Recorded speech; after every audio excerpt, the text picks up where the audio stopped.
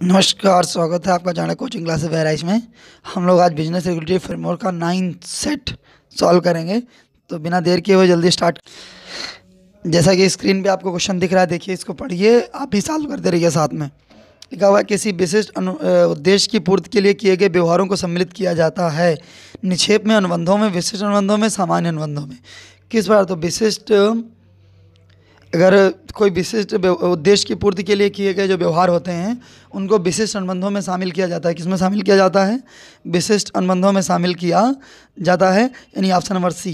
क्या होगा? Option number C. अगला। वह व्यक्ति जो कि वस्तु को किसी विशेष उद्देश्य की पूर्ति के लिए प्राप्त करता है, कहलाता है। वह व्यक्ति जो किसी वस्तु को विशेष उद्देश्य की पूर्ति के लिए प्राप्त करता है, यानी प्राप्त करने वाला। देखिए, देने वाला जो वस्तु को रखता है, वो निक्षेपी होता है और जो प्राप्त करता है, उसे क्या कहेंगे? निक्षेप ग्रहिता कहेंगे। यानी ऑप्शन क्या होगा? बी निक्षेप ग्रहिता, उसे कहा जाएगा। अगला, किसी व्यक्ति की खोई हुई वस्तु को पाने वाले व्यक्ति को कहा जाएगा।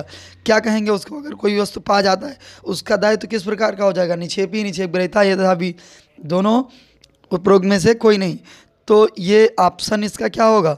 तो निक्षेप ग्रहिता प्राप्त किया है ना? वस्तु तो उसे प्राप्त हुई है। तो जब तक अ, स्वामी तक नहीं पहुँच जाती तब तक वो निक्षेप ग्रहिता के रूप में कार्य करेगा। अगला निक्षेप के अनुबंध में हस्तांतरण नहीं होता है। अधिकार का स्वामित्व का माल का उपरोक्त सभी। किसका हस्तांतरण नहीं होता है? ये बताइए आप। अधिकार का नहीं होता है कि स्वामित्व का नहीं होता है या माल का नहीं होता है या उपरोक्त सभी? तो ऑप्शन नंबर फोर्थ है। फोर्थ का क्या होगा? फोर्थ का बी क्या नहीं हस्तांतरण होता है? माल के स्वामित्व का माल का हस्तांतरण हो जाता है? अधिकार का हस्तांतरण हो जाता है? ठीक? अगला मिस्टर एक्स द्वारा डाकघर के माध्यम से वाई को माल भेजा जाता है। है, जब तक माल की सुपुर्दगी वाई को नहीं होती निछेपी होगा। कौन निछेपी होगा? बताइए। भाई निछेपी तो एक्स ही होगा। ठीक है एक्स ने भेजा है ना तो निक्षेपी कौन होगा? एक्स ही होगा। और निक्षेप ग्रहिता क्या होगा? वाई जो है यहाँ पे डाकघर हो जाएगा। जब तक माल की उसको प्राप्ति ना हो जाए, जब तक वो ना भेज दे, तब तक डाकघर क्या होगा? निक्षेप ग्रहिता कहलाएगा। तो ध्यान रखना। अगला, निक्षेप का अनुबंध होता है। निक्षेप का अनुबंध क्या होगा? निक्षेप का अनुबंध होता है, स्पष्ट होता है, गर्भित होता है, ए और बी। दोनों हो सकता है, ए और बी दोनों हो सकता है, या और भी कुछ। तो देखिए, निक्षेप का अनुबंध हो सकता है, स्पष्ट, गर्भित, ए और बी दोनों उपरोक्त में से कोई नहीं। तो क्या होगा? देखिए तो ये होगा आपका ऑप्शन नंबर फिफ्थ का जो सिक्स का, सॉरी, सिक्स का क्या हो जाएगा? सी। ए और बी दोनों, ठीक? ए और बी दोनों दोनों हो सकता है। निक्षेप का अनुबंध दोनों होगा। अगला। अगला है एक बैंक में सुरक्षा के लिए आभूषण रखे गए कहलाएगा। जमा सुरक्षा निक्षेप स्थायी जमा। क्या कहलाएगा? ये बैंक में हमने जो धनरा जो एक आभूषण रखे हैं तो वो अगर क्या कहलाएँगे? निक्षेप कहलाएँगे क्या कहलाएँगे? तो सात का सी ये निक्षेप होगा। इसे क्या कहेंगे? क्योंकि सुरक्षा ये उद्देश्य है इसलिए रखा गया।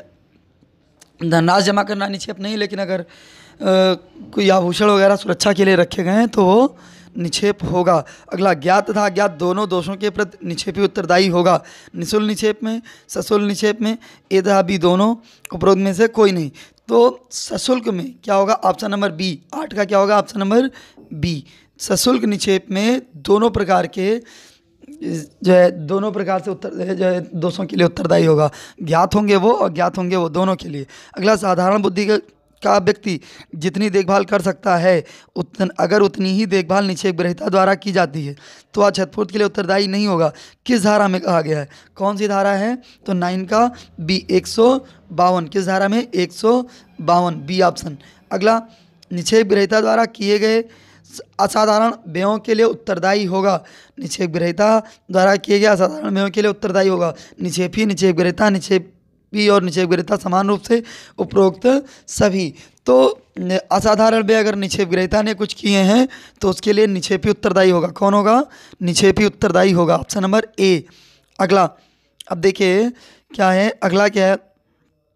देखिए तो ये है निक्षेप के माल के पश्चात माल में किसी प्रकार की कोई वृद्धि होती है तो उसका हकदार कौन होगा? निक्षेप के पश्चात माल में किसी प्रकार की भी कोई वृद्धि होती है तो उसका हकदार कौन होगा? तो ये अकदार होगा इसका, निक्षेपी ही होगा। ठीक कौन होगा?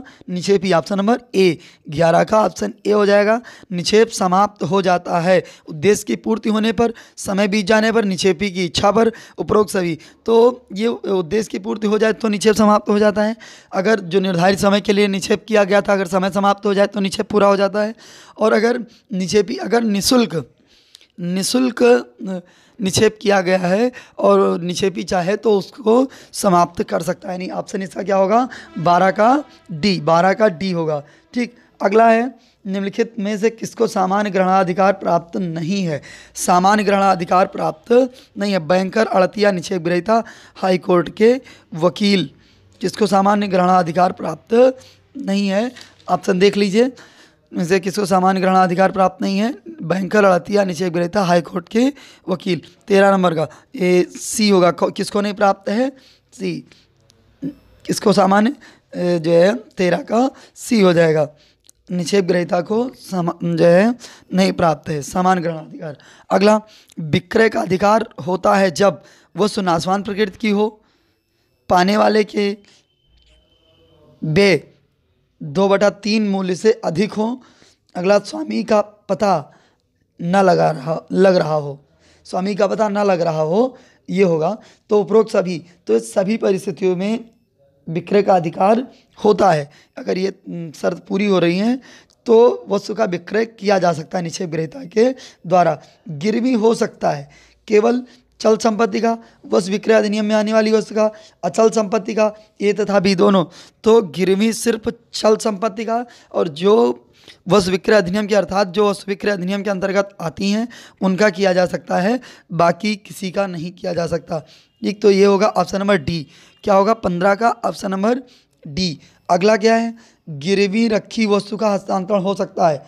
गिरवी रखी वस्तु का हस्तांतरण हो सकता है। वास्तविक सांकेतिक ए तथा बी दोनों उपरोक्त सभी। तो सोलह का क्या होगा? जो है ये होगा बी।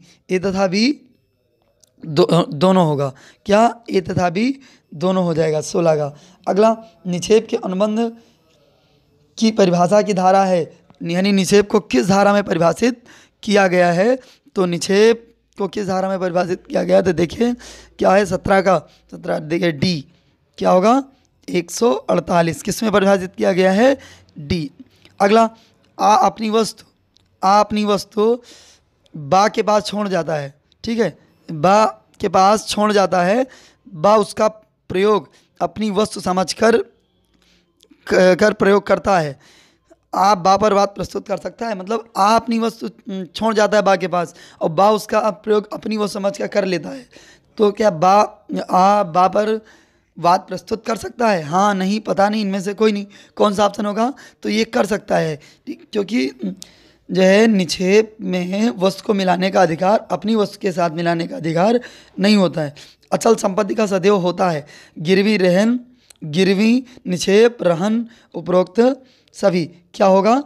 तो ये क्या होगा? यहाँ पे रहन हो सकता है, उपरोक्त सभी। तो डी उन्नीस का क्या होगा? सी क्या हो सकता है? रहन हो सकता है। ठीक, अगला, किसके संबंध में प्रतिफल अनिवार्य है? किसके संबंध में प्रतिफल अनिवार्य है? गिरवी में, निक्षेप में, दोनों में, उपरोक्त में से कोई नहीं। तो बीस का क्या होगा? निक्षेप जो है, एक किसके लिए, किसके संबंध में प्रतिफल अनिवार्य है? गिरवी में अनिवार्य है, निक्षेप में अनिवार्य है, दोनों में, उपरोक्त में से कोई नहीं। तो किसमें अनिवार्य है? तो ये होगा ऑप्शन नंबर हाँ तो एक किसके संबंध में प्रतिफल अनिवार्य है?